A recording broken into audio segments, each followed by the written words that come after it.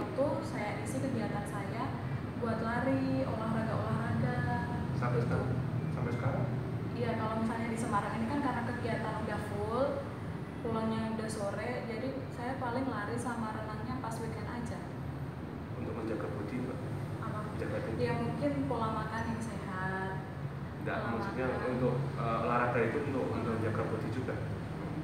Iya bisa, tapi lebih ke ini biar sehat aja. Biar sehat kalau nggak olahraga sekali aja gitu gimana? Sekali aja olahraga. Kalau dulu nggak pernah olahraga sekali itu rasanya tuh ini nggak nggak kayak biasanya gitu mas. Kan kalau misalnya udah lama nggak olahraga tiba-tiba olahraga kan kadang sakit. Terus kan ini saya udah vakum kalau misalnya di Semarang. Soalnya kan kegiatan udah Full. full full. Iya pulangnya udah sore. Awalnya pingin olahraga terus ya? Iya kan kalau di sini kadang hujan. Jadi udah males kalau udah pulang. Ada olahraga ke kantor ya? Olahraga. Iya olahraga kantor paling cuma senam aja. Kalau renang kamu di mana renang. Hmm, Pernah ada orang renang di sana di Sukoco, di Magelang.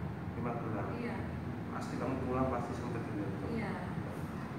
Sama teman-teman. Paling kalau ada yang ngajak main ya main. Mbak dulu kan kamu pernah gagal jadi poluan terus kamu olahraga itu emang kakakmu di olahraga itu gimana? Saya di kesehatan pertama kebetulan. Itu kan posisi saya belum lulus. Saya belum lulus, terus saya daftar administrasi lolos, review lolos, terus kesehatan pertama itu saya udah gagal. Saya mau coba kuliah, cuman saya kan memang jadi puluhan kan emang udah pengen dari dulu udah biar saya jadi polisi jadi saya berusaha buat biar saya tuh jadi polisi gitu Makanya Mbak, idaman dari zaman sekolah apa sih yang buat kamu senang jadi? Kalau kamu cantik, jadi pramugari bisa. Ya gimana ya?